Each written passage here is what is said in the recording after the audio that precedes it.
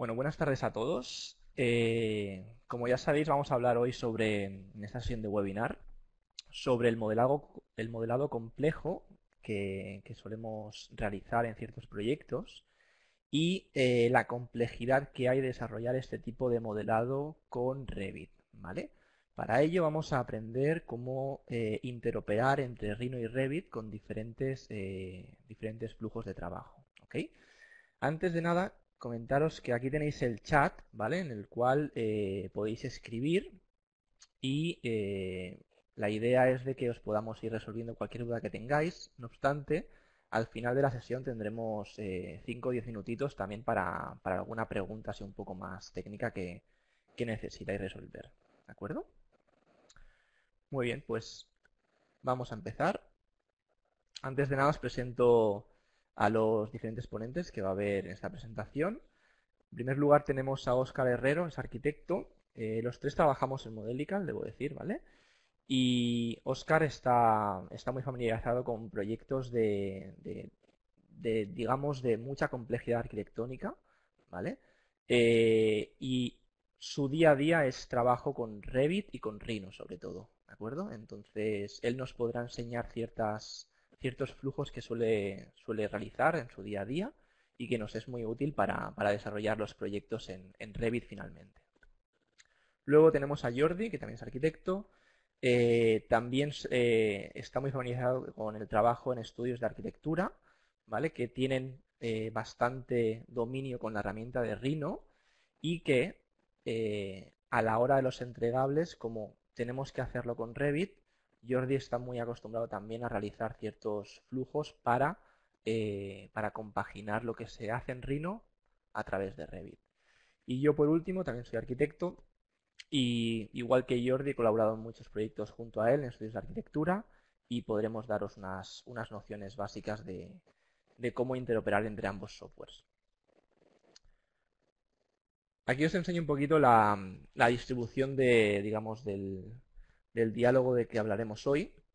Empezaremos con una breve introducción con, explicando las complejidades de ciertas, eh, ciertas herramientas de Revit ¿no? que nos suponen una, digamos, un hándicap a la hora de realizar los entregables. ¿no? Entonces, veremos qué tipo de complejidades o de restricciones tiene Revit que nos hace que debamos utilizar otros softwares de, modelado complejo como ya pueda ser Rhino o, cualquier otro software de modelado. Eh, después seguirá hablando Oscar, ¿vale? Nos explicará las complejidades del modelo dentro de Rhino.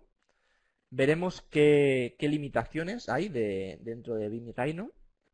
Y nos enseñará a interoperar entre, entre ambos softwares, entre Rhino y Revit, con diferentes eh, flujos de trabajo. Uno de ellos, que es el que nos enseñará un caso práctico, es el de Rhino Insight, pero nos comentará también flujos previos que se han realizado con Flux, con Speckle, etc. Y por último, Jordi nos explicará un caso práctico de una herramienta muy, muy útil también que se, que se utiliza en estudios de arquitectura, que es la de BIM. Es una herramienta que no requiere eh, de programación y en cambio eh, nos facilita la conexión de Rhino con Revit. Lo veremos con Jordi esto más adelante. Y luego, como os he comentado, dejaremos un, espacio para, preguntas. Muy bien, pues antes de nada, antes de empezar a, hablar sobre Rhino eh, y cómo operar con Revit, ¿vale? Veamos qué tipos de complejidades nos encontramos en los proyectos eh, únicamente trabajando con Revit, ¿no? Pues si estáis familiarizados con, con esta herramienta o, o lo habéis visto por encima, pues es una herramienta muy potente que, desarrolla, que, utilizamos día a día, pero hay ciertas cosas que eh, son complejas para, modelar. Por ejemplo, el uso de familias de sistema eh, son familias cuyas reglas dentro de Revit están ya preestablecidas. Entonces, todo lo que conlleve variaciones de estas reglas muchas veces no, no es posible dentro de Revit. Entonces, para eso se utilizan otros softwares luego que se pueden, eh, digamos, se pueden desarrollar estas necesidades específicas e importar dentro de Revit. ¿Qué otras restricciones tenemos? Pues dentro de familias de componente ¿no? Pues si sabemos hacer familias dentro de Revit, sabemos que muchas veces eh, las restricciones que tiene la propia familia a la hora de crear también nos impide hacer ciertos, ciertas eh, barbaridades o, bueno, digamos, ciertos eh, sistemas dentro geométricos, ¿vale? Luego, también muchas veces nos encontramos dentro de Revit que cuando unimos elementos, ya sean de diferentes categorías o diferentes tipologías de elementos, muchas veces las uniones no son limpias geométricamente. Entonces, a la hora de realizar entregables, cuando queremos que esos entregables sean finos, eh, muchas veces no es posible. Otros problemas que tenemos a la hora de hacer, eh, eh, geometrías complejas en Revit, por ejemplo, cuando queremos hacer maclas, vacíos en familias de sistema, todo este tipo de operaciones, normalmente dependiendo de qué, categorías utilicemos en Revit, no es posible. Elementos eh, no, regulares, ¿vale? Por ejemplo, fachadas también cuya distribución o diseño eh, no siga, no siga una, regla estándar o regular, ¿no? Podemos tener eh, fachadas más arbitrarias, más random, ¿no? Dependiendo del diseño de cada arquitecto. Entonces, muchas veces ese tipo de diseños en Revit no se pueden realizar elementos de superficies no paralelas. También el trabajo con topografías dentro de Revit. Las superficies topográficas muchas veces nos dan dolores de cabeza dentro de Revit. Entonces muchas veces es mejor externalizar esta, este diseño de la superficie topográfica e importarla a futuro. Lo que os comentaba de las fachadas, también podemos encontrar eh, que el arquitecto, en este caso, o el ingeniero, haga un estudio de radiación solar sobre la fachada y su diseño de aperturas, de, de distribución de lamas, etcétera, vaya en función de estas reglas matemáticas. Entonces, este tipo de operaciones en Revit, pues sin la ayuda de programación no sería posible tampoco, ¿no?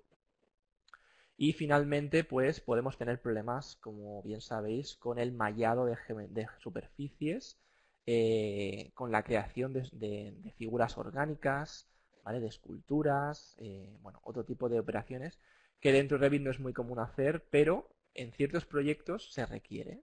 Entonces veremos cómo, intentar solventar este tipo de problemas. Voy a dar el paso a Oscar, que, nos enseñará ya, la parte de Rhino y qué, qué implicaciones tiene. Adelante, Oscar. Muchas gracias, Comparto yo ahora entonces. Vale, pues vamos a, ver un poco las, características básicas de Rhino, cómo nos ayuda en, ese sentido y luego, y luego cómo integrarlo con Revit. Entonces, no sé si en general conocéis Rhino, eh, entiendo que en, gran medida sí, pero bueno, voy a dar unos tips muy básicos de, de las características principales de Rhino. Eh, por un lado, nos, servimos de la diversidad geométrica que puede manejar Rhino. Nativamente trabaja con NURBS eh, muy muy bien, con mallas no tanto, pero también es capaz de, trabajar relativamente bien con ellas. Recientemente tenemos la incorporación de, la sub-D, con lo cual tenemos más variedad para, trabajar con según qué geometrías o según qué tipos de modelado, con lo cual en ese sentido tenemos, Rhino nos da una libertad de trabajo que, que Revit en ese sentido no, tiene.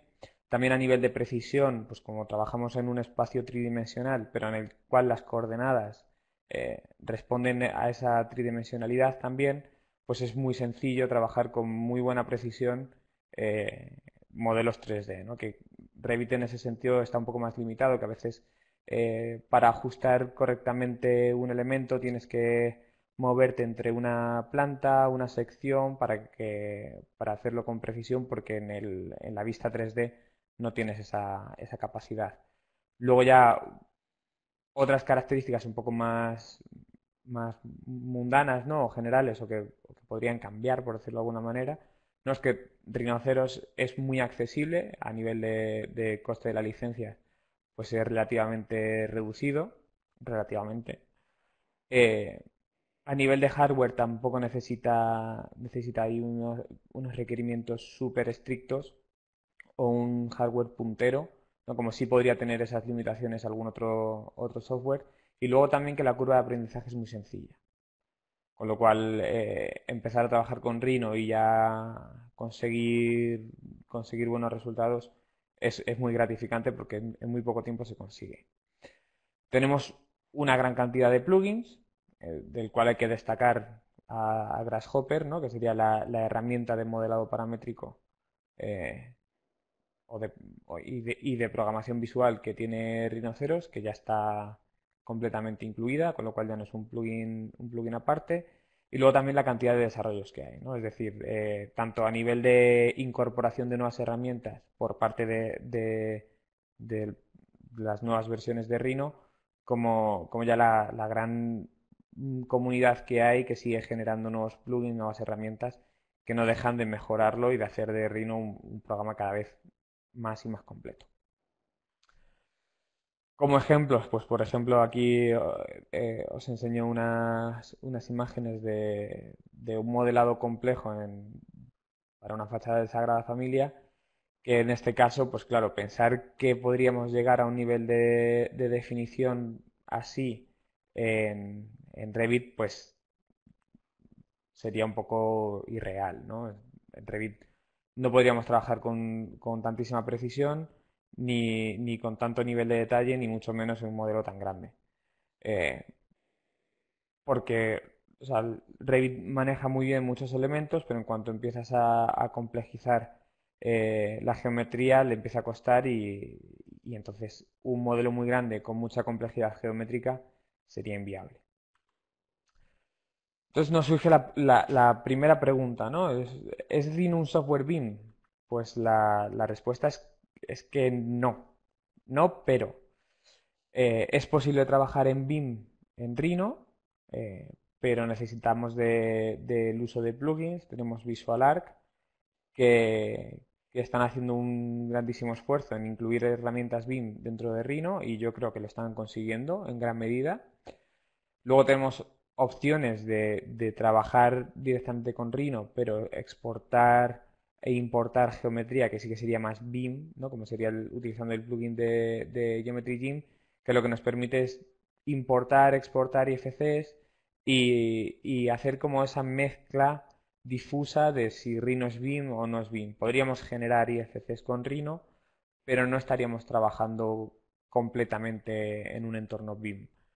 Eh, luego tenemos otras pegas, ¿no? como que Rhino no es, no es un programa colaborativo como tal, con lo cual es mucho más difícil en ese sentido trabajar para equipos grandes y, que al final lo, más importante de todo es que no se ajusta o, generalmente no se va a ajustar a los requerimientos del cliente. ¿no? Muchas veces dentro de los propios entregables que, hay hoy en día pues tienes que entregar un modelo BIM con lo cual en ese sentido pues Rhino no terminaría de encajar o trabajas con otros stakeholders que trabajan en Revit, con lo cual Rhino en ese sentido tampoco eh, sería el, software ideal, con lo cual estamos un poco limitados en ese sentido.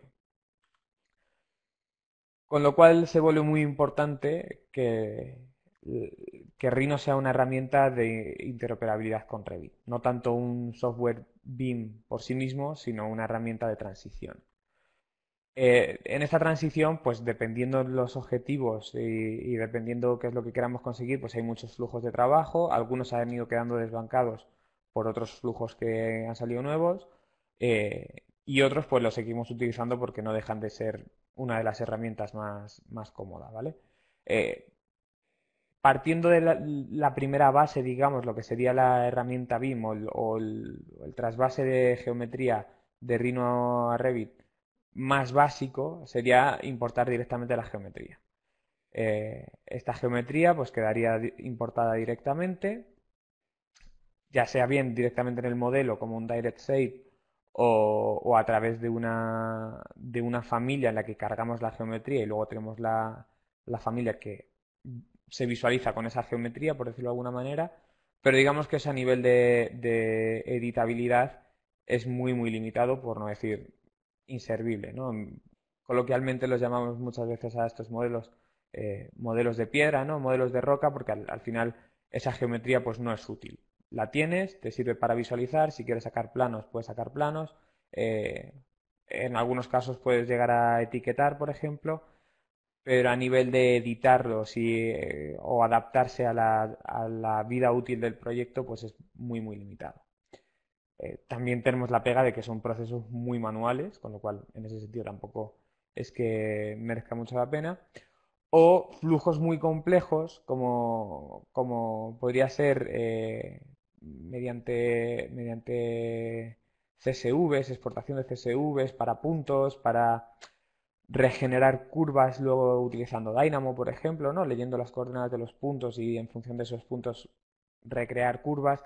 Al final son procesos que son bastante complejos y que, que llevan, ya mucho tiempo. Eh, la, virtud que tienen esos procesos es que al final no estás utilizando nada externo a Revit, pero bueno, consumen bastante. Eh, entonces, a nivel de flujo, ya entrando un poco más en lo que son los esquemas que estamos mostrando, pues tendrías eso, directamente la, importación de modelos de Rhino de WG en SAT o en 3DM últimamente, en las últimas versiones, eh, pues directamente la geometría o importando la geometría en las familias.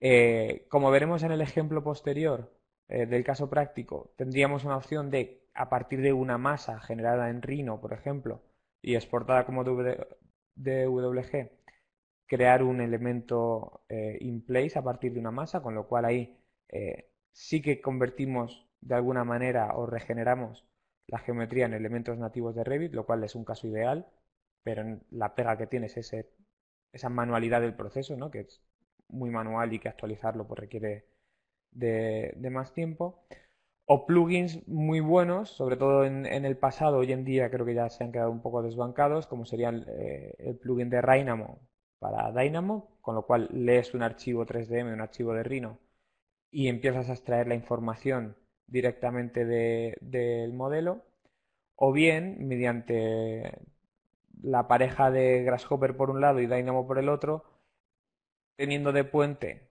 eh, Flux o Speckle, mandamos información a la nube a una base de datos online que descargamos con el otro software y, eso nos permite volcar esa información. En ese sentido, pues es más cómodo porque puedes exportar curvas, puedes exportar sólidos y en cierta medida es un, es un trabajo más directo, pero totalmente desvinculada la parte de Rhino y Grasshopper de la parte de Dynamo.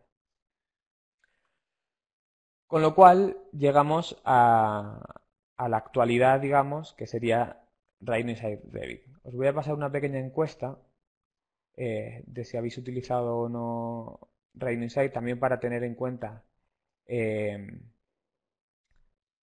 la, digamos, las diferencias que tenemos en, eh, el webinar y poder detenernos más o menos a la hora de, hacer la presentación. Básicamente os hago una introducción muy breve de lo que es Rhino Insight, porque aunque en este caso nos vamos a, centrar en Rhino Insight Revit, eh, Inside en general es como una estructura de código, un plugin, por decirlo de alguna manera, pero se compondría de varios en realidad, eh, que permite conectar la, API de, Rhino con la del software que haga de anfitrión. Entonces puedes ejecutar Rhino directamente en Revit, directamente en AutoCAD. Eh, hay ejemplos también en Unity o en Unreal en Python, en JavaScript, en, ArcGIS. Eh, digamos que tiene una, capacidad de adaptarse al software que lo, que lo reciba, que en ese sentido pues eh, lo convierte en una herramienta muy pero que muy versátil.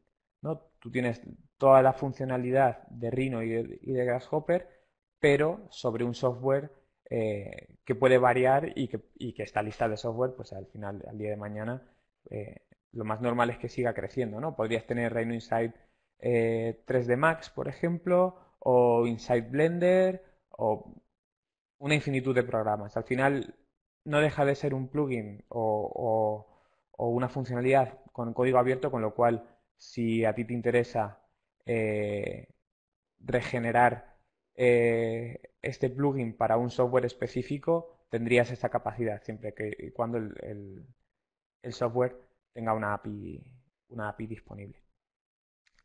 Hay que decir que Rhino Insight es relativamente reciente, ¿vale? digamos que lo que es en el mercado o en el común eh, rondaría los dos años, con lo cual eh, no deja de estar en continuo desarrollo. Eh, en ese sentido, pues es, también ideal porque se va adaptando en gran medida a, lo que la comunidad necesita y entonces siguen generando nodos, siguen adaptándose a, las nuevas necesidades, los, foros y la comunidad están muy activos, con lo cual es, muy, pero que muy, muy dinámico en ese sentido. ¿Vale? Y entonces vamos a pasar al, al caso práctico de, de, Rhino, ¿vale? En este caso os voy a mostrar un breve ejemplo, ¿vale? Porque tampoco quiero extenderme demasiado. Eh, ¿vale? Hemos preparado una, escena de ejemplo con el, con el Rolex Center y en este caso pues vamos a modelar eh, una serie de, elementos, ¿vale? Lo, tengo ya preparado, con lo cual no, vamos a perder demasiado tiempo en, ver la definición funcionar, pero, pero quiero que, veamos eh, cómo funciona.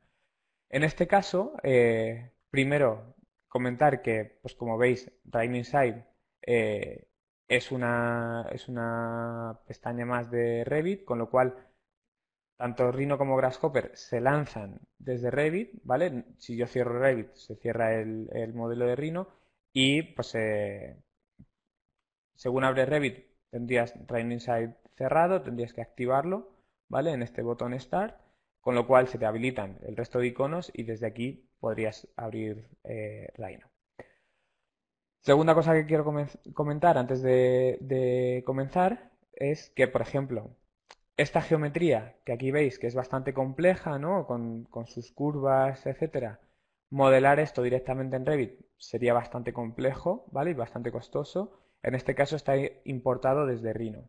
Está importado desde Rhino, como veíamos en los flujos eh, presentes y pasados, con una masa, ¿vale? Con lo cual, si yo aquí activo la masa, podéis ver la masa que, hemos importado, en este caso es un link de un WG con el cual generamos una roof by face y, obtenemos esta geometría que nos permite pues, mm, tener una, muy buena visualización con elementos nativos de Revit, con lo cual también cuesta menos. O, es, más, el rendimiento es mejor. ¿Vale? Entonces, lo primero que vamos a hacer va a ser eh, modelar o volcar, digamos, eh, los pilares que tenemos eh, en un, pongamos un WG, un plano en Rhino. Con lo cual nos vamos a Rhino, ¿vale? Aquí veis el plano que tenemos, en este caso están posicionados en función de, una imagen de, la planta, ¿vale? Y ajustándonos a la, grid que hemos regenerado. Pero en este caso los pilares, eh, como veis, es un, es un bloque Mm, al que hemos llamado column y, nada más, ¿vale? Es, un, elemento 2D, ¿vale? Si, vemos aquí, eh, vemos las líneas porque tengo Grasshopper abierto, pero lo que es el, bloque es un, es un, elemento plano, ¿vale? Con lo cual voy a abrir Grasshopper ahora y aquí vemos la, definición. Eh, en este caso tengo tres partes de la definición, ¿vale? Vamos a ir viendo cada una de ellas eh, por separado y deteniéndonos un poco pero en realidad son, son muy sencillas, ¿vale? En este primer caso, que va a ser el, voy a mostrar el caso con el que vamos a volcar la geometría, lo que estamos haciendo es directamente eh, leer eh, los bloques con el nombre column, con lo cual deconstruimos el bloque y sacamos su, su plano de colocación. Con ello creamos unas líneas verticales que nos van a intersecar con las superficies de las masas, ¿vale? Que eso es lo que nos viene por aquí abajo, que estamos leyendo directamente la geometría que nos viene de Revit, es decir, los elementos que tenemos en Revit, los cuales los estamos descomponiendo para quedarnos con el plano inferior de la masa de, la cubierta de arriba y con el plano superior de la de abajo, ¿vale? En este caso, pues ordenamos por área, ordenamos por el, orden de las superficies, etcétera, y nos quedamos con esas dos superficies. Con lo cual, voy a buscar la intersección de las curvas con estas dos superficies, obteniendo los puntos, ¿vale? Punto de arriba y punto de abajo, con el cual voy a obtener la línea, digamos, el eje del pilar. ¿Vale? Estas curvas son las que voy a utilizar para volcar el elemento en Revit. Hasta aquí es puro Grasshopper, ¿vale? Utilizando algún plugin, ¿vale? Pero puro Grasshopper y entonces entramos en lo que sería la parte de Rhino Inside, que como veis es muy sencillo. Tenemos un nodo add column que nos va a permitir a partir de unas curvas eh, el tipo del elemento y el nivel regenerar ese, ese objeto de forma nativa en Revit, ¿vale? Con lo cual tenemos que pasarle por un lado las curvas, que ya las teníamos calculadas, por otro lado el tipo del elemento, que en este caso lo hacemos con, un, con dos elementos que son eh, seleccionadores, ¿vale? Eh, los tenemos aquí en, input, por un lado el component family picker, ¿vale? Que como lo tengo bloqueado pues no se ve nada, pero cuando lo ejecute se verá como esto un, elemento type picker y lo mismo con el level speaker. Habría muchas maneras de cargar eh, distintos tipos. Otra manera sería irnos a la pestaña de parámetros y aquí seleccionar tipo, con lo cual dando botón derecho podemos buscar dentro de las distintas categorías del modelo las, eh, las distintas categorías. Eh, en este caso, pues si estamos con estructura del column, pues buscaríamos estructural column, ¿vale? Distintas familias y distintos tipos. Si yo filtro aquí, por ejemplo, eh, el circular hollow, pues me saldrían los dos tipos, ¿vale? Seleccionando este sería lo mismo que aquí hemos hecho de una manera mucho más visual. Con lo cual al final no deja de ser, no deja de ser lo mismo. En el caso de los niveles igual y aquí tenemos un trigger, que esto es una, herramienta nativa de, Grasshopper, pero que en comunión con, con Rhino Insight es muy cómodo, porque si no, cada vez que estemos ejecutando la definición, estaríamos recalculando la geometría en Revit. Utilizando este, este nodo de trigger, lo que nos permite es darle al play y simplemente al ejecutar la definición se calcula pero una sola vez. Digamos, sería una mezcla entre trabajar con el modo manual de Dynamo y, el modo automático. Con lo cual, dejadme minimizar eh, Rhino, lo voy a dejar aquí a un lado, Grasshopper, ¿vale? Le voy a dar al play, con lo cual nuestro nodo de Rhino Insight queda disponible o queda listo para ser ejecutado y recalculo la definición. Al recalcular la definición, como veis, se me, generan todas todos los pilares del, que, estábamos leyendo del archivo de Rhino. ¿Vale? Como veis, si minimizo aquí, estos pilares son pilares nativos de Revit con todos sus parámetros, etc. Entonces, si yo quiero modificar eh, cualquiera de estos pilares, eh, puedo, porque son, como ya digo, son elementos nativos. No es volcar directamente la geometría, sino que es eh, regenerarla. ¿Vale? De la misma manera, hemos creado los muros cortina de los patios. ¿Vale? En este caso, en esta parte inferior del, del modelo, extraemos de estas dos superficies, extraemos las curvas, ¿vale? Una serie de operaciones en función de la longitud de la curva, etcétera, nos quedamos con, nos quedamos con las curvas de los patios inferior y, superior. Por otro lado, obtenemos mm, mediante el nodo pipeline eh, las curvas de los patios que estáis visualizando ahora mismo en verde, porque lo que queremos es subdividirlas en puntos manejando, eh, controlando la distancia en planta, porque no queremos, como queremos que los paneles sean equivalentes, de las mismas longitudes, aunque luego varíen en forma, eso tenemos que controlarlo con la proyección de las curvas. En ese sentido, creamos unas líneas que también intersecamos con las propias curvas que hemos generado, ¿vale? Con lo cual obtenemos una serie de puntos que ordenamos y nos quedamos con las distancias, con lo cual, al fin de cuentas, nos quedamos con los dos puntos, el inicial y el final. Con estos puntos de nuevo, déjame ocultar esto, con estos puntos de nuevo creamos las polilíneas que nos interesan.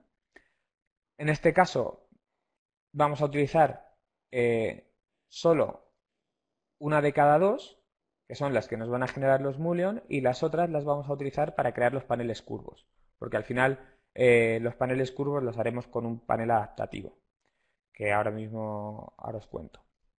¿Vale? Entonces, con estas curvas creamos de la misma manera que antes, eh, creamos los, los mullion.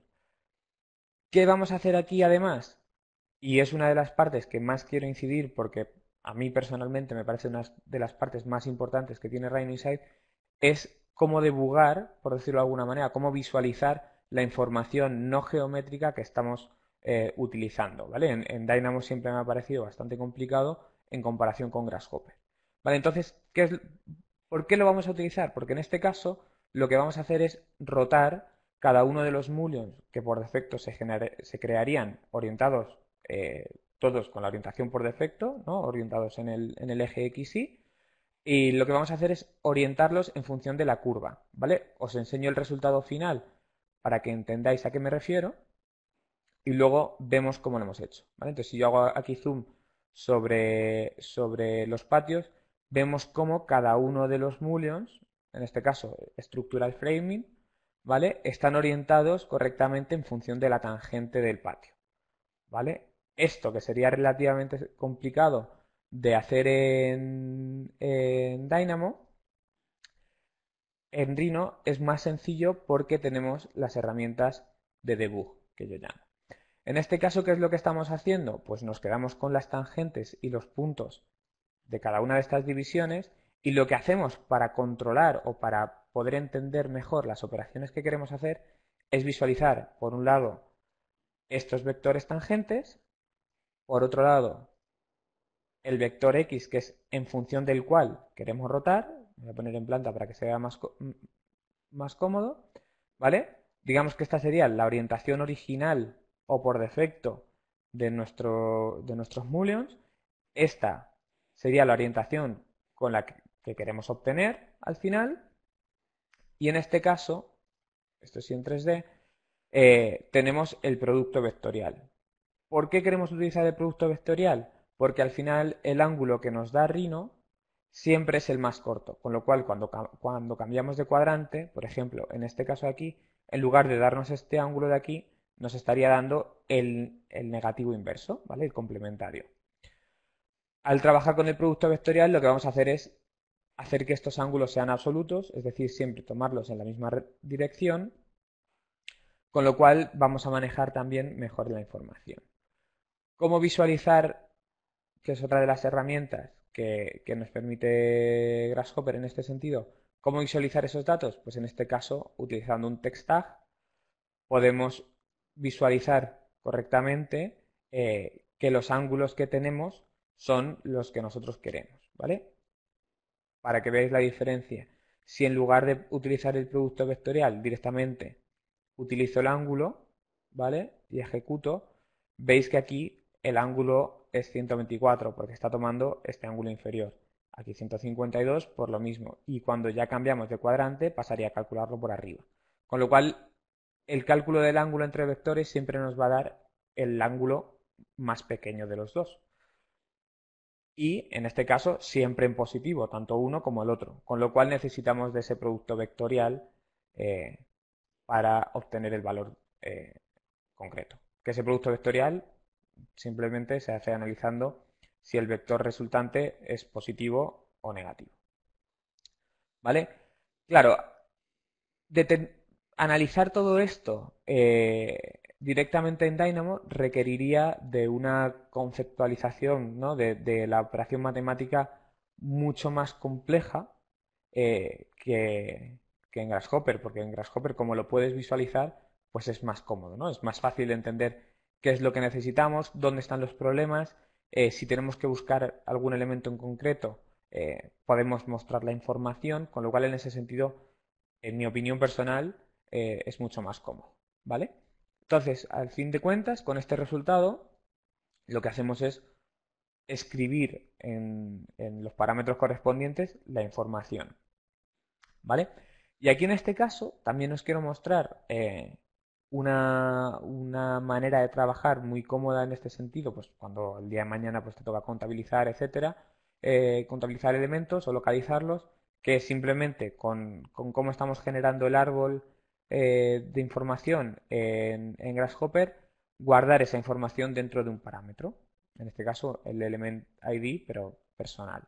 ¿no? Entonces, en este caso lo estamos guardando aquí que pertenece pues, al patio 7, es el Mullion 1, patio 7, Mullion 2, etcétera, ¿vale? Digamos que tenemos todos los elementos identificados pues porque nos es más cómodo así.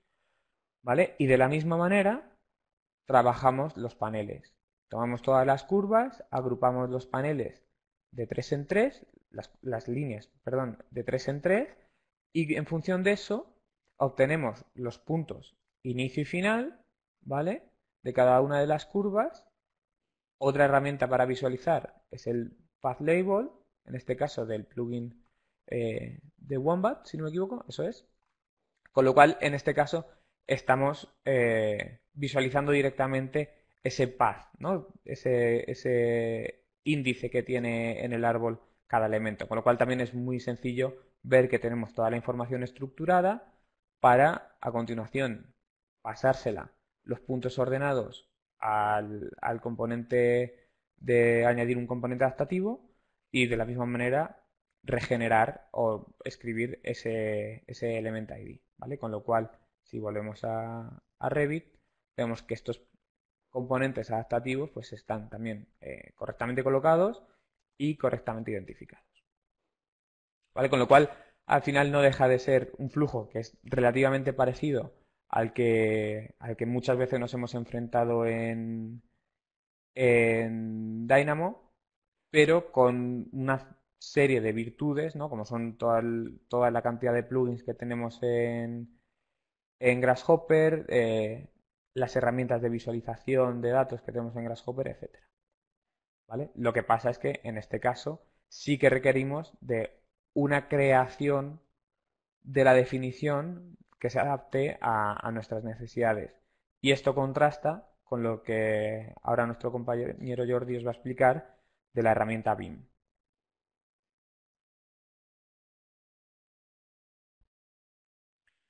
Bueno, muchas gracias, Oscar.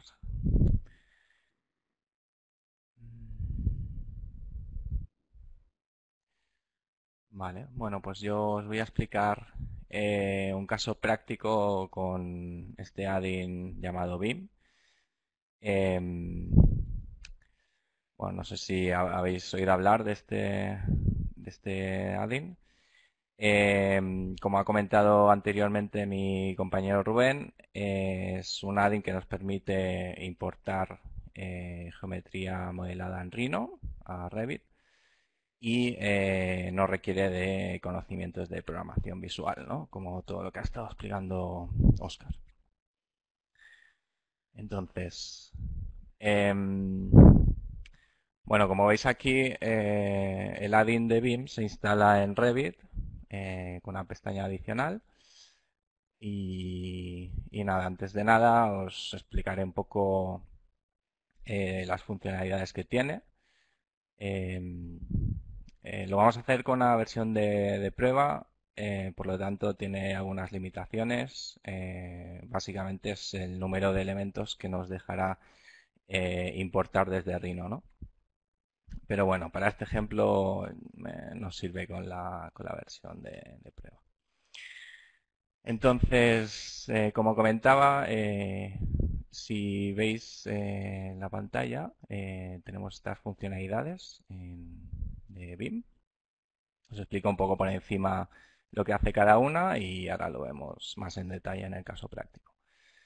Eh, la primera está de BIM, lo que nos, eh, bueno, nos, eh, nos dejará es importar sólidos, superficies y mallas. los podemos importar tanto como familias cargables como de sistema. después el siguiente que es este que se llama URSA. Este no nos importa geometría como tal, lo que nos lo que hace es eh, colocar familias cargables o adaptativas de Revit según unos puntos que tenemos en nuestro modelo de Rhino. Eh, esto, bueno, pues nos, nos puede ser muy útil cuando tenemos eh, eh, o queremos colocar familias en puntos estratégicos, ¿no? En el ejemplo ahora lo veremos también. Vamos a colocar unas luminarias en una cubierta que pues, pues hace curvas y, formas extrañas y nos interesa colocarlo en la cara inferior de, esta cubierta. Después está de, de blocks. Em, esta únicamente nos importa bloques hechos en, en Rhino eh, como familias cargables en Revit. Y nada, por último, este de Ray eh, nos permite exportar geometría de Revit a Rhino. Eh, en el caso práctico que os voy a enseñar, toco todas estas funcionalidades, entonces lo, vais a entender mejor. Este último botón de aquí es simplemente para abrir Rhino, pero bueno, lo podemos abrir de, forma manual. Em, obviamente necesitaremos abrir en paralelo Rhino y, y una sesión en Revit. Vale. Pues a ver, en el ejemplo este práctico eh, lo que vamos a hacer es partir de, unos muros que simularán la fachada. Eh, es la, misma cubierta que ha enseñado mi compañero Oscar del Rolex Center, que nos traeremos después a, Revit. Pero el punto de partida es, eh, es en Revit.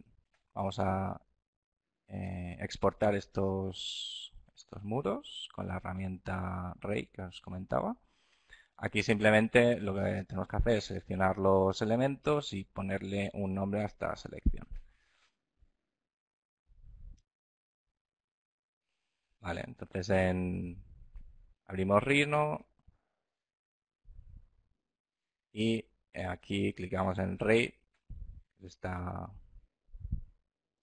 herramienta que tiene BIM y como veis se nos importan estos bueno, la fachada de estos muros como, como si fueran eh, polysurface en, en Rhino.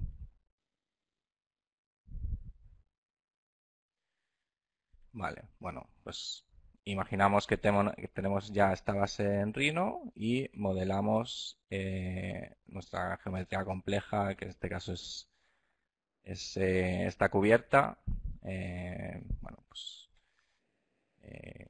con curvas, orificios, etcétera, etcétera. Y ahora nos la vamos a exportar a Revit. Entonces eh, seleccionamos el elemento, le ponemos el nombre que queremos que tenga en Revit como familia, en este caso le ponemos cubierta y el espesor. Y aquí definimos eh, la categoría. En este caso será un roof, como veis, eh, tenemos la opción de, rellenar estos parámetros que nos ofrece BIM. Eh, podemos eh, especificar una subcategoría, el material, data, comments, smart set, etc. Algunos mm, son más interesantes que otros porque desde el mismo Revit ya lo vamos a poder cambiar. Pero, pero bueno, que sepáis que tenemos esta funcionalidad. En este ejemplo únicamente utilizo, em, aparte de la familia categoría, el, eh, el, parámetro de material para que veáis cómo la asigno. Y eh, bueno, aquí tenemos parámetros de instancia y de tipo. En el tipo además tenemos keynote y timemark. Vale, entonces aquí clicaríamos en BIM le ponemos un nombre a esta selección. Esto no, es el no tiene por qué ser el nombre de la familia. Podemos poner cualquier nombre que nos sirva para identificarlo. Clicaríamos en BIM y aquí tenemos varias opciones. Eh, podemos eh, importarla tanto como familia cargable como de sistema. Al ser un, roof, lo vamos a importar como familia de sistema. Em, en este ejemplo eh, lo vamos a importar, como comentaba anteriormente mi compañero Oscar, como si fuera un modelo piedra, pero existen flujos más eh, óptimos, ¿no? Como podríamos, por ejemplo, importar esta geometría en, eh, como si fuera una masa y después hacer un roof by face. Sería interesante, por ejemplo, hacerlo así. entonces aquí, eh, bueno, tenemos algunas funciones. Split Geometry, por ejemplo, sería interesante si tenemos varios elementos, aunque sean de la misma familia, eh, son em, elementos modelados por separado, entonces eh, nos interesaría clicar en, Split Geometry. El Force Update eh, lo, que hace, lo que hace es nos borra la familia existente si hiciéramos, por ejemplo, una segunda iteración y luego simplemente definimos qué tipo de, de coordenadas lo queremos importar y bueno, como os he comentado, lo hacemos como familia de sistema.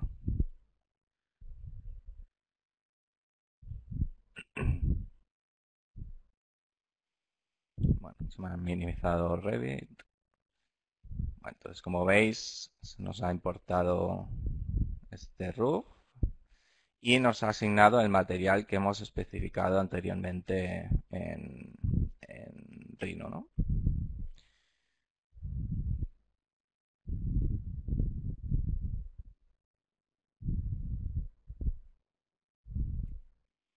Vale, ahora vamos a utilizar las otras funcionalidades que tiene BIM.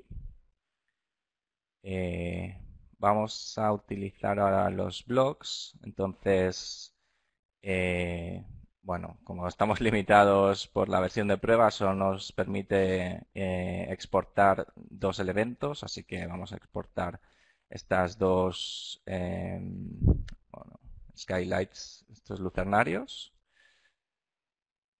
Aquí pues parecido, ¿no? Como hemos hecho anteriormente, le asignamos una categoría y luego pues, eh, especificamos el nombre de la familia.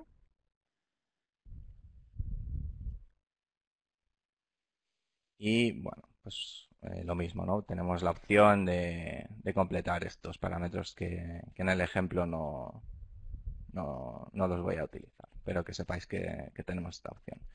Ah, aquí eh, no lo he comentado, pero veis aquí abajo que también tenemos la opción IFC. Nos permite también eh, exportar modelos en Rhino, bueno, de Rhino a IFC.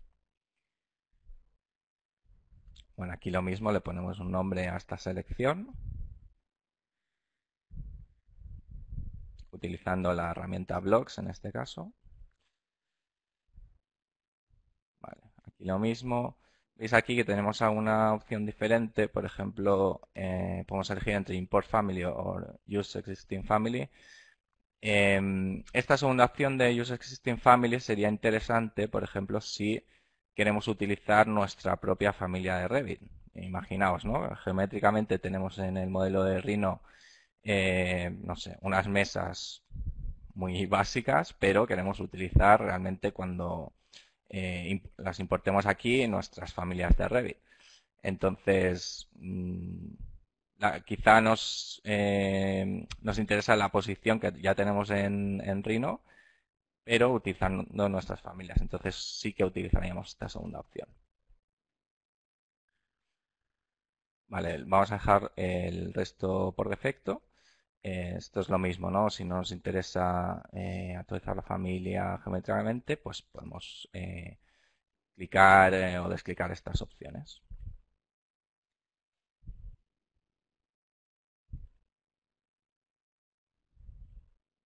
Bueno, cerramos y vemos cómo se nos han importado estas familias. Estas familias ya son familias de componente, ¿no? Cargables. Si clicamos dentro, Vemos que es una familia normal y corriente. Obviamente no es una familia paramétrica geométricamente hablando, pero sí tenemos algunos parámetros con los que jugar, como por ejemplo la subcategoría. ¿no?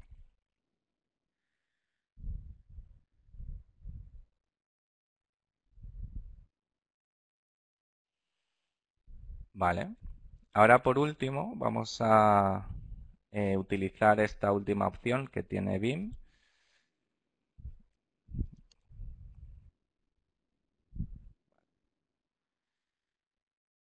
es esta de Ursa, que le llaman Ursa. Entonces lo que vamos a hacer es eh, colocar, eh, como os he adelantado antes, unas luminarias en la cara inferior de esta cubierta. sacar estos puntos desde Rhino es relativamente sencillo, pero en Revit no. Entonces vamos a aprovechar esta funcionalidad que tiene esta herramienta BIM para colocar estas luminarias en esta cara inferior de, la cubierta. Como veis tenemos los puntos en esta cara inferior que serían los puntos de colocación de las luminarias. Aquí eh, nuevamente estamos eh, limitados por, la versión de, prueba. Entonces solo nos deja eh, exportar un total de, de 10 puntos, me parece. Así que vamos a seleccionar estos de aquí. Y lo mismo, le ponemos un nombre. Esto como no, realmente no nos va a importar ninguna familia, pero sí que necesitamos un nombre para esta selección. Le ponemos este nombre de luminaria, por ejemplo. Y lo exportamos desde, desde el botón BIM. A la hora de importarlo, clicamos en Ursa y veis aquí, bueno, el primer campo es el nombre de esta selección, pero el segundo campo es el nombre de la familia que queremos utilizar nosotros, ¿no?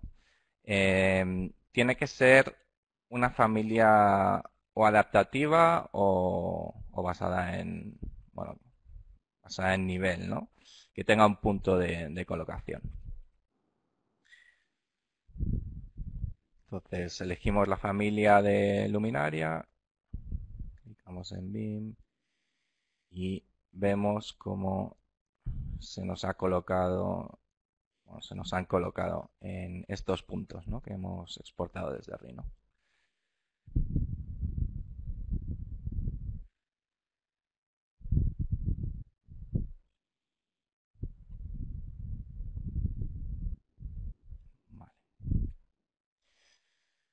Bueno, pues eh, ahora dejamos un pequeño espacio para vuestras preguntas y os las responderemos con mucho gusto.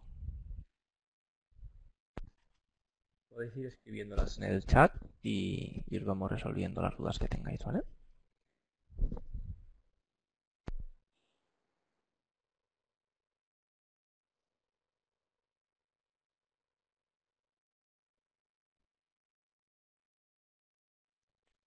como, habéis podido comprobar, al final eh, muchos de estos flujos se pueden utilizar, eh, podemos utilizar Dynamo, podemos utilizar Grasshopper, ¿vale? Pero la idea es daros otras opciones aquí, ¿vale? Muchas veces en los estudios de arquitectura hay ciertos equipos que trabajan en Rhino, luego está el equipo BIM quizás que trabaja en Revit, ¿vale? Y muchas veces está como esta descoordinación, ¿no? Entonces, es importante eh, tener estas herramientas al menos que te faciliten la comunicación entre ambos softwares, ¿vale? A ver, ¿qué habéis empezado a escribir por aquí? A ver. Bueno, mientras tanto voy a lanzar una encuesta también, porque tengo curiosidad por si habéis oído hablar.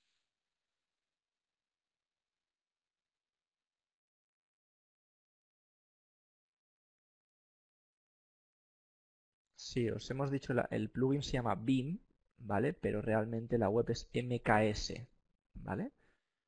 Entonces, eh, el plugin se llama MKS BIM realmente. Si buscáis BIM a, solas en el, en el, buscador de web, posiblemente no lo encontréis. Además siendo una palabra tan... MKS genérica, ¿no? Sí, sí, sí. Sí, exacto. Sí, crea mucha confusión.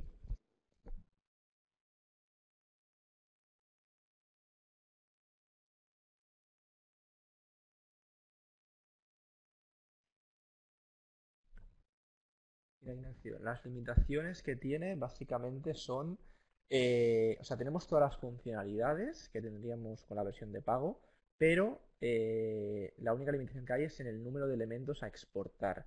Como ha comentado Jordi, si no recuerdo mal, son dos elementos para bloques y 10 elementos para eh, el módulo de URSA, si no recuerdo mal, ¿verdad? Entonces, claro, en proyectos de cierta complejidad se queda corto.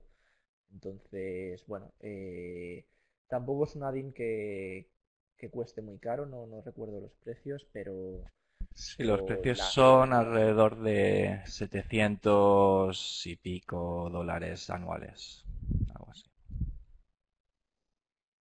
Entonces, bueno, muchas veces eh, para uso personal, obviamente sale caro, pero si lo utilizamos de manera recurrente en la empresa es, es muy, es muy útil. Va- ¿Habéis probado hacer vertical reveals? Vale, pues a la directamente pregunta de, que plantea Juan Daniel, pues la, no, la verdad es que no, no he tenido la oportunidad ni la necesidad tampoco, o sea, por ser sincero, entonces no, no, no he probado. De todas formas, eh, no sé si ha quedado claro, eh, desde Rail Insight pues tenemos una serie de, de nodos por defecto que podremos utilizar directamente, pero tenemos acceso a la API también de, Re- de Revit. Entonces, eh, en, cierto, modo, se podría hacer todo lo que se podría hacer desde la API de Revit, ¿vale? Con lo cual, eh, entiendo que si hay, si hay, manera de hacer los, los desde la API, se podrían hacer desde Rain Insight. Lo que es posible es que no haya un nodo todavía.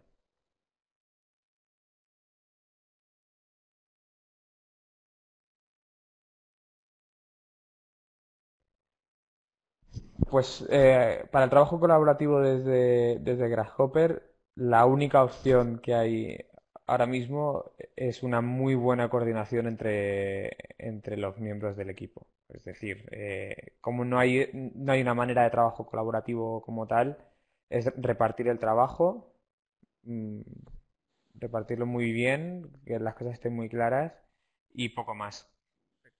No hay, no hay mucha más solución. Entonces, no sé el caso específico al que te refieres, pero normalmente es, eh, pues, también te pasa en Revit, ¿no? Que aunque tengas el trabajo, o sea, que tengas la posibilidad de, de trabajar en colaborativo, cada persona o cada, o cada pequeño grupo de personas trabaja en algo muy concreto, ¿no? Para no pisarse. Al final con esto te- debería ser lo mismo.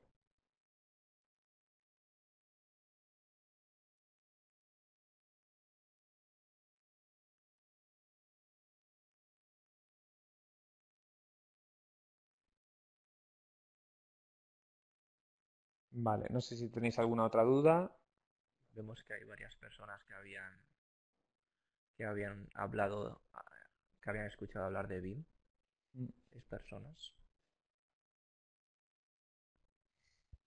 Seguro que son nuestros compañeros. Vale, pues yo creo que si no, si no hay más dudas, mm, dejaríamos la, la sesión por aquí. Como ya hemos puesto por el chat, pero bueno, lo repetimos de, todos modos, la sesión se ha grabado, con lo cual eh, en cuanto, procesemos el, vídeo, os lo mandamos, os mandamos el, el link para que la tengáis, para que tengáis la grabación disponible por si la queréis ver o no habéis podido verla bien o cualquier cosa.